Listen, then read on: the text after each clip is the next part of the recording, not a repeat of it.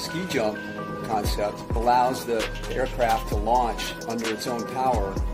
um, and with the wind over deck and trajectory of the ski jump, the aircraft can gain the safe flyaway speed.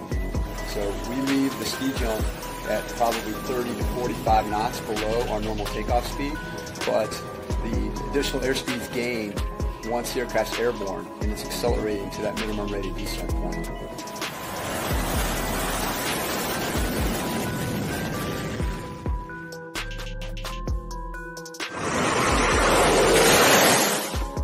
Jump effort was a combined Boeing PMA 265 and VX 23 effort that was aimed at demonstrating the capability of the F 18EF Rhino Super Hornet aircraft to operate off of a ski jump equipped carrier aircraft. Um, that is the aircraft carrier that, among other countries, the Indian Navy